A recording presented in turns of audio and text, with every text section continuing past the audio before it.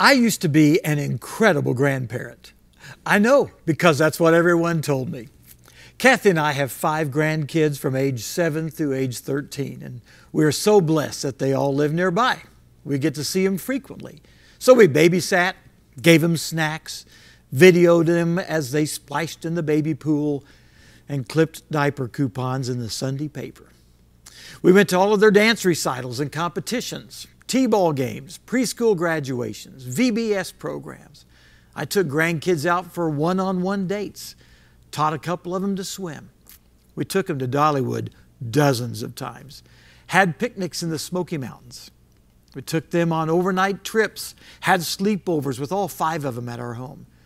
But a big change happened in 2018. Oh, we still do all that stuff I just mentioned. As far as the culture is concerned, we're still incredible grandparents. But something significant was missing, and we weren't even aware of it.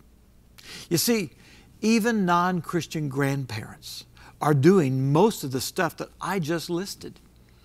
But we discovered in 2018 that it's not enough to settle for being an incredible cultural grandparent.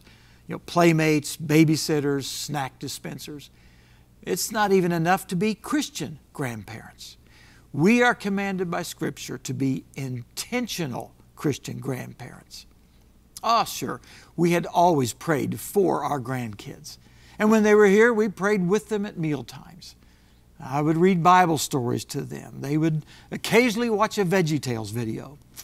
And that was about it. Pretty casual, still pretty impressed with ourselves.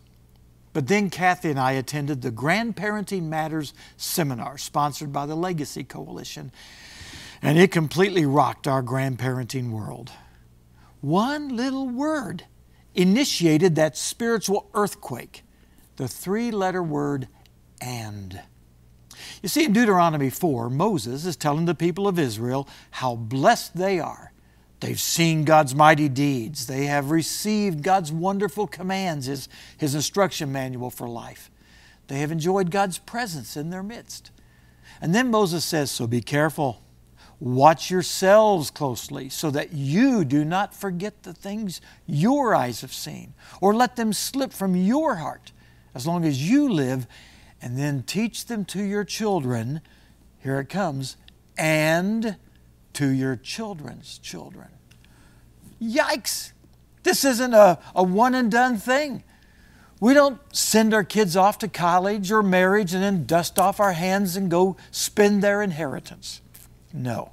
Now our responsibilities shift to becoming ambassadors for Christ in the lives of our grandchildren. We're missionaries to a really cute mission field, focusing on passing along a legacy of faith to following generations. Well, it was a challenging wake up call for Kathy and me because we are deeply concerned about the compromising and sinful culture in which our grandkids are living. We're very upset about the upheavals that many families are experiencing due to divorce, drug and alcohol addiction, workaholism, the explosion of pornography and gender confusion. We're very alarmed about the amount of screen time our grandkids are amassing, the hate that is spewed so loudly on social media, the misinformation, the bullying, the shallow, disconnected relationships, and the dangerous predators stalking children. We are so saddened by the lack of Bible knowledge and the shrinking involvement in a local church that many of our grandkids are facing. Somebody needs to do something. And it seems that God is raising up this generation of baby boomer and Gen X grandparents to step into that dangerous gap. Proverbs 13:22 tells us that a good person leaves an inheritance to his children's children. Now friends, that verse is talking about much more than leaving some money in our will for our grandkids' college expenses. So many Christian grandparents are missing important opportunities to pass on their faith to their grandkids and great grandkids. Five years ago, God prompted Larry and Diane Fowler to launch the Legacy Coalition to help grandparents grow in their biblical roles through a wide variety of events and resources so they, they can have a greater spiritual impact on their families. And the blessings of God have been abundant over those five years. A world class team of seasoned Christian leaders from across the nation has come together. Many of them retired after four or five decades of faithful service to God's kingdom in, in some very significant capacities. The Grandparenting Matters Seminar has been presented from coast to coast. The first ever national conference on grandparenting, the Grandparenting Summit, attracts thousands of motivated grandparents annually to hear speakers like David Jeremiah, Chuck Swindoll, John Stonestreet of the Colson Center, Tim and Darcy Kimmel, Ken Davis, Scott Wesley Brown, and so many others. A free weekly webinar called Grand Monday Nights has featured many of those folks I just mentioned, helping us understand our grandkids' world and giving us amazingly practical guidance in how we can respond to the challenges of a decaying culture, geographical distance, technological seductions, relational tensions, spiritual disconnections. A speakers bureau of pastors slash grandfathers continues to be recruited and trained to bring the vision of intentional Christian grandparenting to pulpits across the land. Resources are being developed at an amazing pace. Books like uh, Long Distance Grandparenting, Grandparenting with Grace, biblical grandparenting, overcoming grandparenting barriers, and so many others are being released regularly. Tools like the uh, prayer placemat, we love this tool, sits on our dining room table, gives you a suggestion every day of the month of something for which we should be praying for our grandkids, that they will learn to control their anger, anxiety. There's a scripture connected with each one of these. They'll find peace that they'll give their lives to Christ, they'll learn to obey their parents. That's a wonderful tool.